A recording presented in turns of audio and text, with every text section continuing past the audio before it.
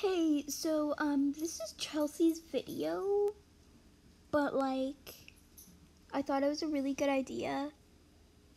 And it's really hard for me to edit this. I have no idea how she did it.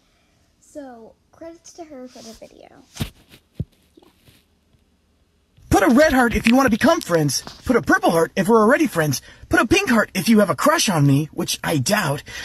Put a black heart if you want me to die.